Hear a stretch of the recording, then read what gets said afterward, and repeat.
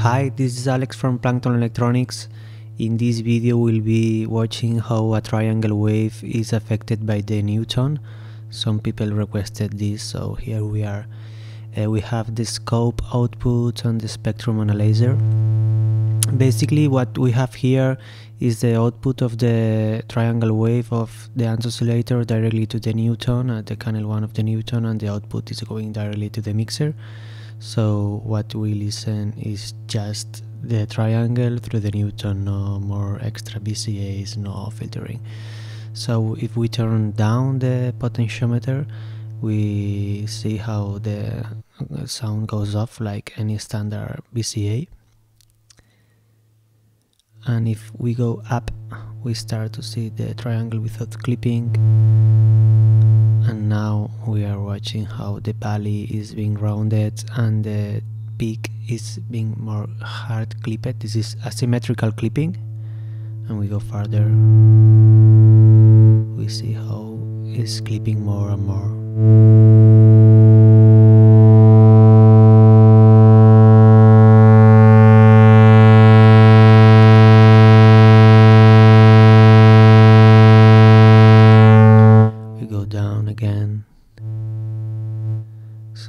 triangle. Start to clipping here. And more square wave like clipping. So this is um, this channel is set up with the rear control bias control which uh, sets up the signal that goes through the NuTone. And at channel 2 we have set up this control more biased so we can have a different uh, clipping more asymmetrical clipping. So this is more exaggerated.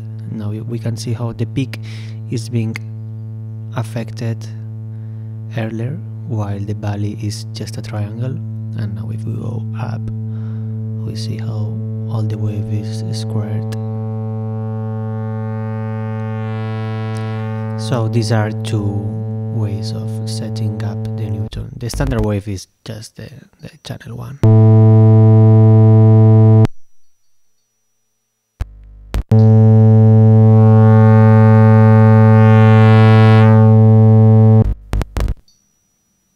again. The channel one. So things get interesting when we add some movement here.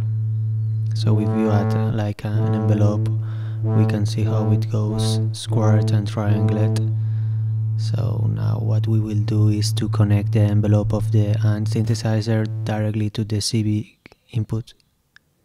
And now we see how it is affected like in a filter similar to a filter but it's just clipping at the highest levels. A longer decay.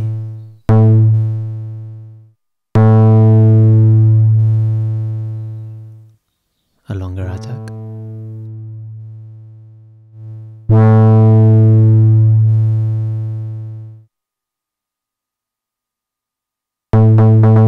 This is a basic sequence on the eloquencer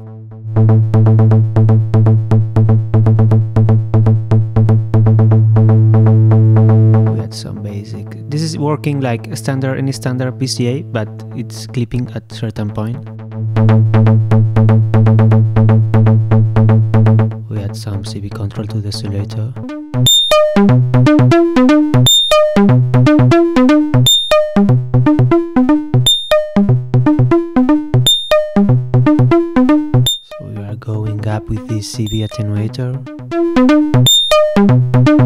to get more clipping. Attack up.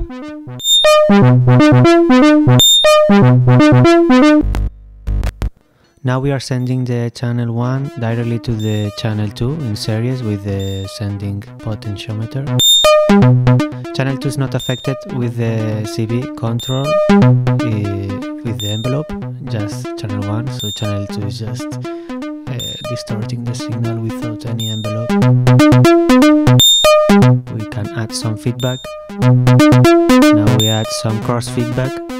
Now we, what, what we are doing is sending the channel 1 to channel 2 and channel 2 back to channel 1 and we are creating some artifacts.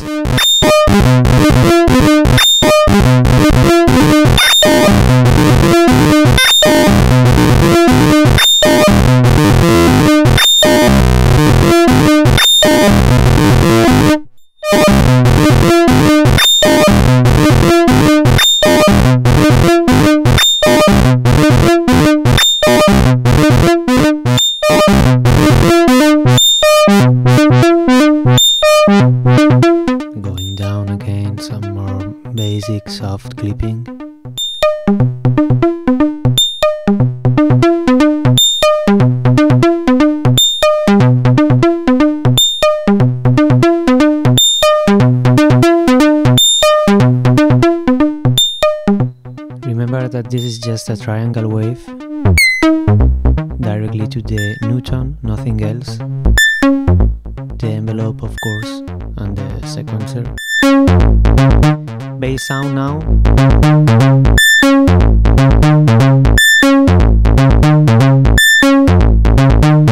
So that's it. I hope that you liked the video and enjoyed it. Remember that we are still on Kickstarter there are seven days left to arrive to the goal, and we have not arrived yet.